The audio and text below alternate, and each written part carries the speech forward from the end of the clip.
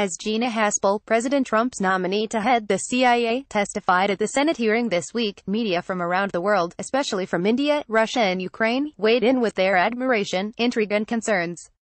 On Wednesday, the controversial but widely respected longtime veteran of the CIA's clandestine service batted back allegations of torture and promised members of the Senate Intelligence Committee that she would fight any effort to reimpose post-9-11 interrogation practices if confirmed.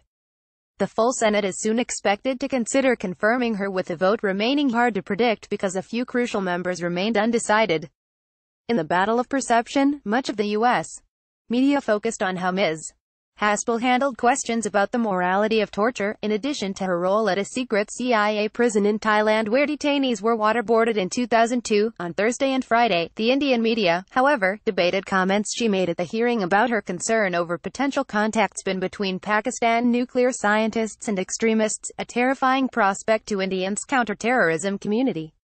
The Hindu newspaper, with a circulation of more than 1.2 million, also focused on Ms. Haspel's remarks on Asia, playing up her observation that China is a major national security challenge for the U.S., and that the CIA plays an important role in monitoring China's rise as a global power. The Indian Express also highlighted the China exchange, which she had with Sen. Marco Rubio, Florida Republican, in which she mentioned China's efforts to diminish U.S. influence, not only in the Pacific, but all around the world, China's unfair trade practices, and China's overt and illicit efforts to steal U.S technology and know-how and intellectual property, in the pro-Western Ukrainian media, where Sen. John McCain, Arizona Republican, is a seen as hero who actively supports the country's European aspirations in continuing standoff with Russia. His opposition to Ms. Haspel grabbed headlines. After the hearing, Mr. McCain, who is currently in Arizona recovering from brain cancer treatment and is unlikely to vote on her confirmation, told his Senate colleagues that while he admired her Ms. Haspel's patriotism, he wanted them to vote against her because of the torture issue. R. McCain is himself a victim of torture as a POW during the Vietnam War. Ukraine's Gordon New News portal delved into Ms. Haspel's lengthy undercover career, pointing out that her work in Russia coincided with the collapse of the Soviet Union and end of the Cold War.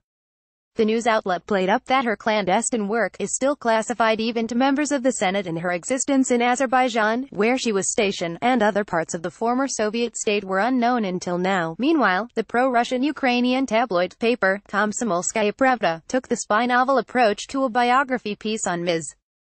Haspel, titling an article, The name Gina is shrouded in scandal. Anything that plays up American divisions is always appreciated by the Russian government-controlled news agency, Sputnik.com. The Kremlin propaganda website played up the brief but chaotic portions of Ms.